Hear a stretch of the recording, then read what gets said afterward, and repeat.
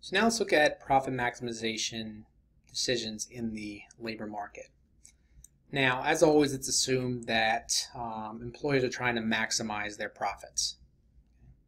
Uh, employers are always going to look at the marginal changes in an effort to maximize these profits. And so when determining output, they're going to look at this idea, the idea of the marginal revenue versus the marginal cost of each unit. And we talked about how there's two ways they can, there's two factors they can use to produce the output, and that's the labor and the capital. Okay.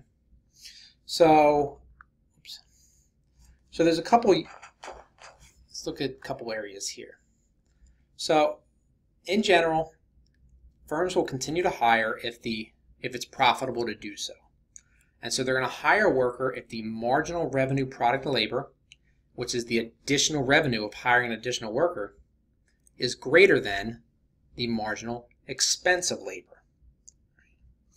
And the marginal expense of labor is um, the additional cost of employing an additional unit of labor. Okay? So the marginal revenue products is the revenue you get from an employing an additional unit, and the marginal expense is the additional cost of employing an additional unit. And profits are going to be maximized where the two are equal to each other. So let's assume that um, markets are competitive. And we're going to go through this step by step. So if the, if the labor market is competitive, that marginal expense of labor is equal to the wage. Okay, it gets determined by the market where the supply equals the demand, right? And so that's what um, that wage is. Okay, so now let's look at the firm. The firm, how are they going to decide how much they want to employ? Well, again, so the marginal expense equals the wage this profit maximization point, the marginal revenue product labor, where it equals the marginal expense of labor, that's where it's the maximal profit maximizing. Because anywhere up to that point, they're going to make more revenue than it's going to cost them. So their profits are going to go up as they employ up to that point. So, you know, so we have the marginal revenue product of labor equals marginal expense of labor. But again, we know that the marginal expense of labor equals the wage. Well, if we go back, the marginal revenue product labor is, where's it at here? Here's, it's the marginal product labor times the marginal revenue. All right. And so we have marginal product labor times the marginal revenue of the product and profit maximizing is where that equals the wage. Okay. Now, if we assume that it's a competitive product market, which we're going to do as a starting point, and so if that's the case, that marginal revenue is just equal to price. So you have the marginal product of labor equals, oops, sorry, times the price of the good equals the wage. And then if we divide both sides by price, you get the marginal product of labor equals the wage divided by the price. So let me this let's look a little better here.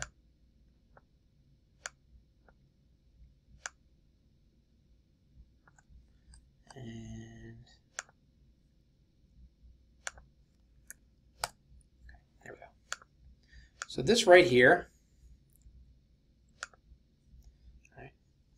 this is the profit maximizing level of output. It's where the marginal product of labor equals this W over P, which is known as the real wage. Because remember back we talked about real wage.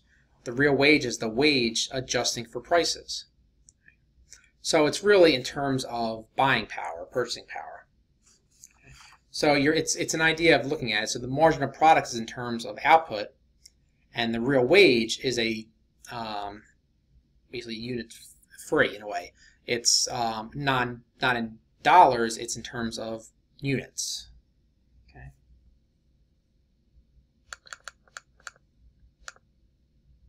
So let's look here. So let's say we have this real wage. And so if you remember, let me take this off here. And let's this, this. So if you remember back when we talked about, you know, the market, we said that the wage was determined by the market and the price determined by the market. And so this W over P, it's a um, it's some fixed amount. Okay, so it's some fixed number. Wage is determined by the market and the price determined by the market. Different markets, but and if you also remember, we talked about the marginal product labor. We said the marginal product of labor was downward sloping. Okay. As labor goes up, the marginal product goes down. You have that diminishing returns. Because again, there's only so much capital that can be um, spread out across them. So let's say that we had this, you know, this real wage here. So let's look at this level right here. And let's say this is L star. Well, let's say we are, now remember, the marginal product of labor right, is in units. It's in terms of output. And the real wage, all right, it's taking, it's talking about buying power, so that's in units as well. So let's say that we are at um, this right here. All right. So instead of producing L star, we're producing at um, L0. Well, at this L0, the marginal product is greater than the real wage. And so what's happening is you're getting more in output from the from the worker than it's costing you. Again, everything's in units in this case. Right. So in that case, you're making a profit on the worker. Let's say we have, uh, let's just say L1 down here, which is right here. Here, still, you're gonna make you're gonna be making more from the worker as the firm. You're gonna be receiving more than you're paying. And so by employing both L0 and going from L0 to L1, you're making profits.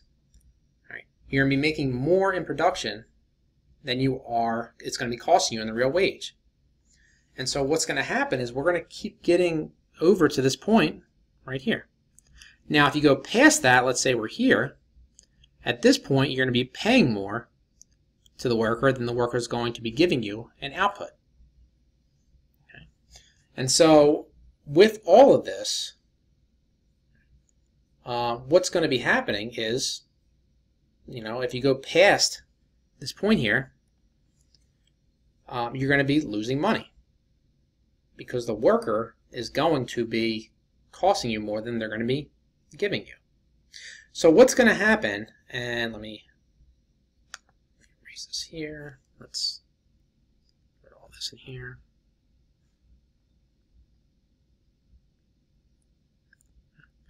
And so what's going to happen is for any given level of, um, so you have a real wage here.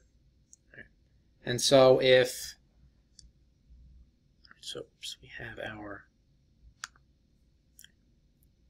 so we have our marginal product of labor.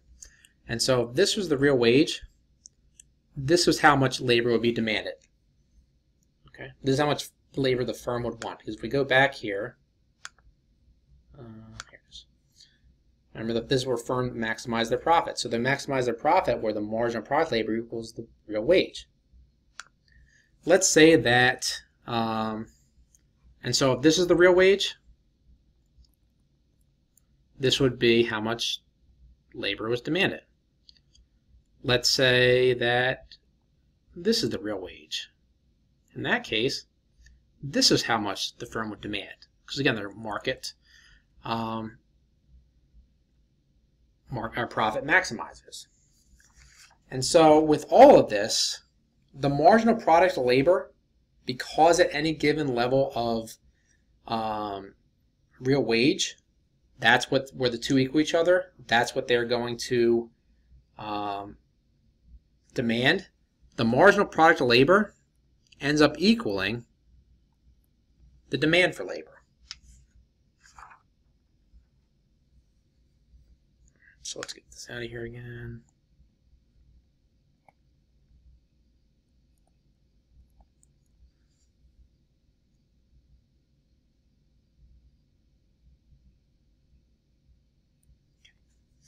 And bring this back here.